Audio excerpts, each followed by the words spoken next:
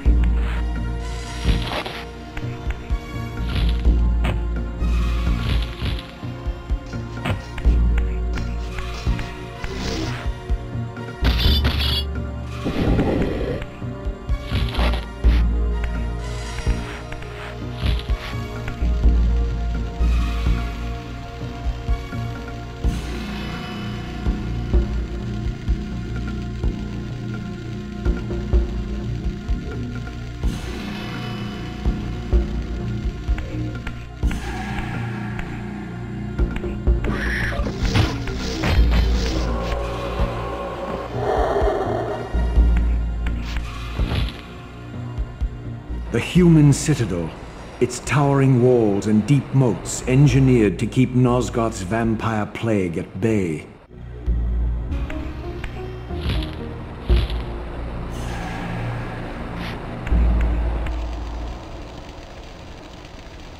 Though the city was well fortified against vampires, its human architects hadn't considered a breach by a creature such as myself.